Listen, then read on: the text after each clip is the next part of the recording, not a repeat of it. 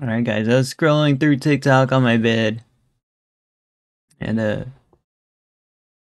I saw the preview to this video about the internet's most obvious in industry plant, so we're gonna react to it and uh you know seems to be a good video. Let's check it out.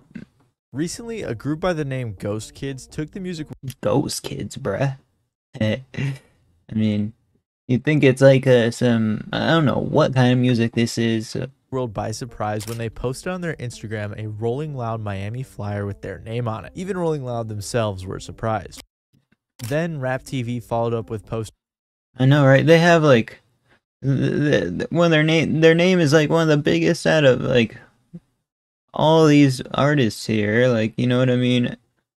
Bigger than Trippie Redd, bigger than Lil Durk, bigger than Lil Yachty. Like, what is going on? Same size font as like 21 Savage, Uzi, Kodak. What is, like, come on now. Bigger than Coi Ray, Ski Mask? What is, yo. Posting promo for them, saying they forced their way into the. I just don't understand. And who even owns this rap handle, guys? Like, is it the industry? lineup. At first, people thought this was just poor marketing from some random group with fake followers. But then, Ghost Kids released their second song ever with a Vince Staples feature. And what was even more Vince Staples, who's that? More surprising is that a few days later, they actually showed up at Rolling Loud opening for Lil Uzi Vert. On top of all of that, Rolling Loud was reposting their appearance, seemingly co-signing the group, who was standing on stage while their animated music video played in the background. Many fans were Bro, like, Literally came out of left field, bro. We don't know who they are or anything, man. Anyone heard of Ghost Kids? Let me know in the comments below. Angry, but I was curious. All of this had left me wondering, who are the Ghost Kids? How did they get all of these industry connections? Why do they have all of these followers and how do yeah, right. This came out of do they have all of this money for promo? Well, I think I may have figured it out, so let's look into it. All right, all right. Detective is on it, guys. Oh, we, we, we, we removed the sidebar somehow on the bottom of the screen. Let's go. But first, a quick message from our sponsor. I'm very pleased to say that this video is sponsored by Manscaped. I've been using the Performance Package 4.0 ever since they Snap Manscaped is sponsoring non-RuneScape streamers? I did not know. Sent it to me back in April, and I absolutely love everything included. So let's take a look at it, shall we? First off here, we got the Lawnmower 4.0, which is a very nice electric trimmer that comes with a little light on the top to help you aim if you're in a dim area. It also has a very nice blade designed to reduce nicks and cuts. It comes with a wireless charging dock and has 90 minutes of use, and it's also waterproof so you can use it in the shower. Manscaped also recently added the Weed Whacker 2.0 to the performance package. It's basically just a nose and ear hair trimmer. I actually need a nose and ear hair trimmer, guys. I ain't got no money for Manscaped. What you mean, guys? And put this uh stuff on my face. Try to know one. With a steel blade and a powerful motor to cleanly cut through everything you need to. And finally, in the performance package, you get two of my favorite products, the Crop Preserver and the Crop Reviver. The Crop Preserver is a ball... I just wonder how much they're making for ad sponsors, guys. Quite a bit, right? Toner lotion that you can just kind of put on after you get out of the shower and you'll smell nice and clean throughout the rest of the day. And the Reviver is a little spray bottle that you can put on whenever you're in a rush or in a hurry and you don't have time to apply the lotion. Both of them smell fantastic. I use them both regularly and I absolutely love them. Manscaped was even generous enough to throw in two free gifts with the Performance Package 4.0, the Shed Travel Bag and the Ant. Oh snap, bro. You feel like I'm getting stuff for free at this point, right guys? I ain't got no money for this. Anti-chafing boxers. I'm about to take a trip soon, so I'm very excited to test out the travel bag. It is super nice and sleek, and I actually really like the boxers. They're super comfortable. Uh, actually, I think I'm wearing them right now. nice old Manscaped boxers, okay. So make sure to head over to manscaped.com right now to get 20 Yo, I got Mac Miller's like um, first album or whatever on the on the wall there. That, that's an automatic like for me, guys percent off and Mac Miller. Uh, I'm a huge fan of Mac Miller, guys. Free international shipping when you use code MattyB at checkout. I repeat, that is 20% off free international shipping at manscaped.com with code MattyB. This is a very good deal. I'm a big fan of the performance package. And with that being said, let's hop back into the video. First, I think it's important to establish the timeline. So like I said, on July 1st, Ghost Kids posted on their Instagram saying they were in LA with Vince Staples. At this point, no one really knew about them since they hadn't bought any promo yet, despite having over a million followers. I'm gonna assume that some of these followers are bots and some of their comments even look botted, but I'll touch more on that later. Their next post was a couple of days later, which had a picture of Miami with the caption, Ready or not, we coming. Following that, they released their song Ha Ha You know, I I, I do like uh I do like the picture they have here though. How do you even make that, guys? Uh, I kind of know how, but make like a uh, on. July 6th. Then on July 14th, they posted a picture of themselves photoshopped onto the Rolling Loud lineup, with Rolling Loud acting all confused in the comments. This was also promoted by Rap TV and it was obviously paid promo since they were tagged in the post, bringing a lot of attention to their account. People were surprised that this account had over a million followers, but not nearly as many likes per post. Guys, eight comments, twenty five k, uh, twenty five k likes. Like, what is going on, bro? How many how many accounts actually do this? Then Ghost Kids kept posting Polaroid pictures of cities on their way to Miami. But what was even more surprising was on July 21st when they released their song Going Off featuring Vince Staples. People, including myself, were very confused as to how this random group got a Vince Staples feature. It just screamed industry plant to most people. Maybe it's uh, maybe an investor just like randomly pumped in a bunch of money into their like business pitch or something, guys. I have no clue. At first, I just assumed it was like a stolen verse from an already made song, but Vince reposted it just backing the fact that it was a real collaboration. That same day, they posted a picture of a And I do like the name G- Ghost Kids. Like, cease and desist from Rolling Loud with the caption, ripped up the rules, we comin'. Then on what the heck? yeah, bro, they're breaking all the rules here. July 23rd at Rolling Loud Miami, while fans were waiting for Little Uzi Vert It's a cool little promotion pic, man. They got they got some things right with their promotion. to come out, the screen started flashing the Ghost I didn't know Roll- Rolling Loud has become such a big festival recently. Like, uh, one of the biggest ever, man.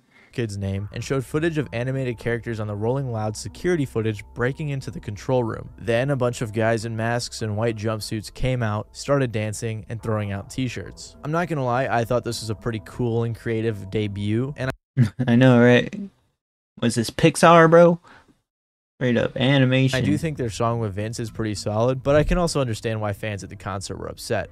I don't know what kind of music they even have, guys. Rolling Loud even reposted the event on their Instagram, and Rap TV posted even more promo for them, so it was clear they were backed by people in the industry, or at least they were paying You know that style of art that reminds me of is like a Gorillaz, bro. for it. But other than that, no one really knew anything about them, so as the curious guy I am, I decided to do some digging. First, I checked out their website, which didn't have much information or anything, although it did look really nice, so I knew there had to be some money behind this group. After a Definitely, few guys. Google searches, all I was really able to come up with was a few articles. The interesting thing is that most of these articles were just copy and pasted with the same story. Regardless, it did give us a little bit of What the heck, bro?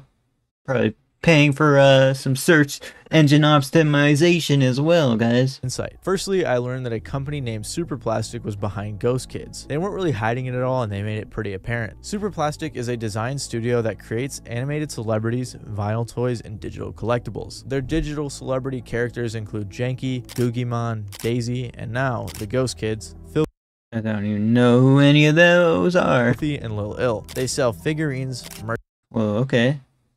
You know when it has a white background like that, it's you know gonna be some expensive store. That's what I've kind of noticed. merchandise, clothes, and NFTs.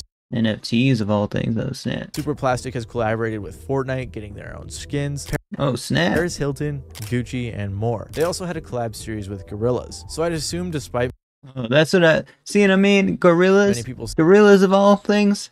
Saying that they're copying Gorillaz, Gorillaz must be cool with whatever they're doing since they've worked together, or maybe not. I don't know. Superplastic is also working on a collab with Amazon, which is pretty crazy. So we now know that Dang, bro. Came out of left. Oh, now we know. That's a, that should be the video, right, guys? But uh, no, he's, he's got some more info. a company is behind this group. And the article also states that Ghost Kids are partnered with Universal Music Group's subdivisions Virgin Records and United Music Group. The chief creative officer for Superplastic said, We've been developing the Ghost Kids for a long time. There is so much thought and expertise poured into the group from creatives and partners. We make stories with people we respect and love. We've been creating the Ghost Man, bro. So they got like some billionaires backing them or something, guys. Animated, just animated avatars of all things. Those kids music, narrative, Looks like they made so much money off their animations they can branch out into music. and identity with the industry's most raw and talented people. So it's clear that Superplastic has a big budget behind this project, especially since they're partnered with a major label. A lot of people have also speculated that this was some sort of NFT project, and I was concerned about that too because anytime an NFT project has tried to take a dive into the music industry, Well, if if, if it was, like, he could have made a very, uh, you know, even a bigger like kind of video on it. Probably, maybe would have got more views. it hasn't always gone well. But as far as I'm aware after researching the Ghost Kids, they aren't selling any NFTs or related in any way, Thank goodness, bro. at least yet. But what really stuck out to He said yet. me about this article is when they said it's worth noting that the artists behind the personas of Lil Ill and Filthy are prominent hip hop figures who have chosen to remain anonymous for the time being. What the heck? The creation of Ghost Kids involved a collaboration with a committee of hip hop legends, ensuring a promising future for the project with their collective expertise. Snap, bro. The mystery representatives for this. What? So, firstly, I'm obviously curious about who the hip hop legends in question So some huge hip hop artists have backed it up. Then. Okay, okay. are, but I'm more so curious as to who the prominent hip hop figures are that voice the Ghost Kids. When I read that line, it instantly reminded me of Captain Murphy. If you aren't familiar with Captain Murphy, he was an animated rapper who came out of nowhere and had his music featured on Adult Swim. He released his debut album Duality with features on it from artists like Earl Sweatshirt. No one knew who it was, and I'm sure at the time a lot of people were throwing around the industry plant phrase. However, after weeks of people speculating whether or not it was Earl or Tyler with pitch down vocals, the producer Flying Lotus revealed it was him. He's a very talented and well connected producer in the music industry, explaining how he got on Adult Swim and got those features. Hey, bro. Made a, a song Kendrick of all. So You maybe know? it's possible something similar is going on here. But I really, really wanted to know who the artists were that were behind Ghost Kids. all the rappers. Kids, so I had to dig a little deeper. First, I began by checking their Instagram following to see if I could find anything out of the ordinary, but they were just following a ton of popular artists. I was looking for prominent artists, but the rappers they followed didn't have similar voices to Ghost Kids, and none of them followed Ghost Kids back. Also, after looking more into their Instagram, I realized that the account was repurposed after previously being owned by Superplastic's character Guggimon. So that's Oh, snap, bro. That's some good, good digging he did right there, guys. probably why they had so many followers, although I still wouldn't be surprised. Straight up, just uh, deleted the brand and went, decided to go with something new. surprised if some Hey, that saves money, guys. Of them were botted. Anyways, I saw some fans theorizing that Ghost Kids was Vince Staples, but that wouldn't really make sense for them to be anonymous and then feature who they actually are. Another person theorized it was AI, which isn't too far fetched these days, but AI doesn't sound that good yet. Mm. There's a ton of AI songs. I saw another person on Twitter comparing Lil Ill to Ice Cold Bishop, and while I can kind of see it, I didn't see anything connecting the two. By the way, Ice Cold Bishop is super fire. You guys should check him out. But other than Don't know who it is. in all of those dead ends, I couldn't find out anything else about the Ghost Kids on Instagram or Twitter. So I decided to go undercover in Superplastic's Discord server. Not really, I just kind of joined it. But I started asking around about the Ghost Kids and I learned a little bit more about them. Apparently, oh. the Ghost Kids lore is that they are trying to save humanity from three-headed demons and zombies while simultaneously Dang, actually got a lore for it. Okay. Did somebody message it or what the heck? How do you get this information? becoming the greatest rap duo of all time. This is a little bit interesting since there aren't too many artists that are kind of creating their own universe, and it does help explain some of their lyrics. But Might as well call it Steven universe with all this um animation going on. that it seemed like the people in the Discord were also oblivious to their identities. At this point, I had hit a dead end until I realized that Dang, even the Discord insiders don't know who it is. I hadn't checked the most obvious spot, genius.com. Their page looked empty with little information, so I had glossed over it before, but when checking over their first song, Haha, I noticed there were some producers listed. The producers were Developed, who's worked on songs like Rap God, Rich Forever, K-pop, and more. The other Okay. producer was Cappy, who's worked a lot with Dominic Fike, Justin Bieber, and others. So it's Dang, Justin Bieber, what? it's already pretty crazy that they're working with big name producers like this. But when I scrolled down, I saw even more interesting information. A lone contributor who suspiciously knows all of this information about Ghost Kids listed two names Yo, Smash Ultimate. in the writing credits Dougie F and Eric Jamal. After further investigation, I realized that Eric Jamal is this guy who I've seen blowing up all over TikTok because of this freestyle and others. And Dougie F is an artist. Got a Game Boy shirt on. Okay, okay, that's cool. artist who has a Might be that guy, I don't know. track on the 2K17 soundtrack with Pitbull and also used to tour a lot with Travis Scott. So then I went back to the Ghost Kids Instagram and I noticed they were following both Dougie F and Eric Jamal. I checked their Instagrams and saw that they were both following back the Ghost Kids. However, I couldn't find any other information connecting Oh, snap, that may, might be them, guys. them to the Ghost Kids, so I decided to listen to their music and see if I noticed any similarities. First off, let's compare Dougie F and Filthy. Pay attention to the ad libs. Yeah, my streets move too fast. I need a change of pace. Yeah, truth or dare. See that you scared. To me, Filthy Yo, I actually like the music video, guys. He really just sounds like Dougie F pitched down. Also, I noticed the two cars from both music videos are pretty similar. I know it isn't the same, but it's pretty close. Now let's compare Lil Ill and Eric Jamal.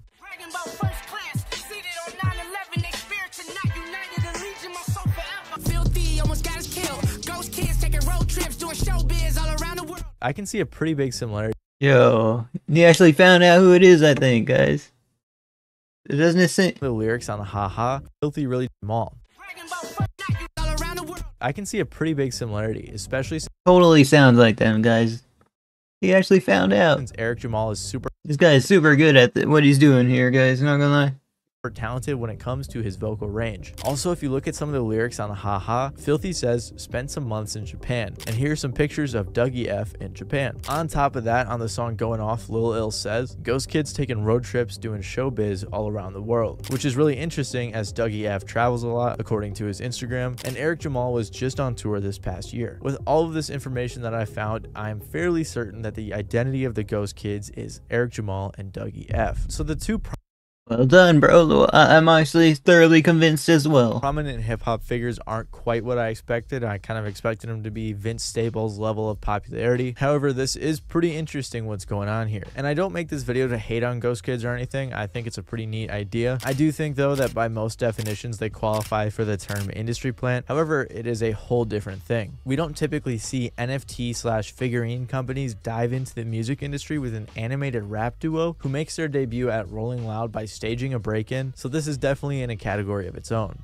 Again, I do think it's pretty cool, and I did like their song with Vince Staples. So this isn't hate or anything, and I know some people are going to comment. Oh, this is paid promo. It is not paid promo. I just thought this was a neat story. The only paid promotion in here is from my friends over at Manscaped. But yeah, other than that, I found this story facts, bro. Facts. super interesting, and I hope you guys did too. I hope you enjoyed. Please make sure to leave a like if you did. And uh, yeah, it's been Matty Balls, and I'll see you guys next time.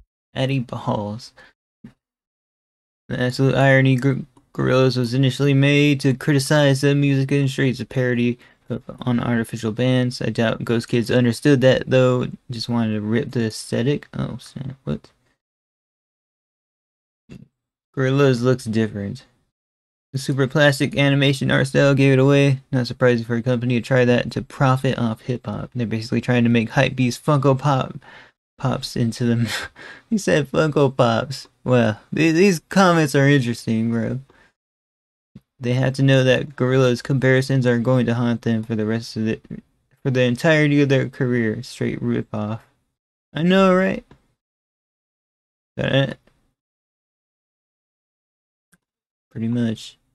Well, their whole hidden identity gimmick didn't last long. Well, with them following each other on t- um Instagram and you know, I'm just finding out through whoever uploaded whoever whatever soft puppet account he made the uh, thing with, posted lyrics on or whatever. They could have done a better job, it looks like they wanted to be found. Alright guys, that's the video. Thank you for watching. Check out the original video description. See you guys next one. Peace out. Like, comment, subscribe, and do all my reactions live on Twitch later.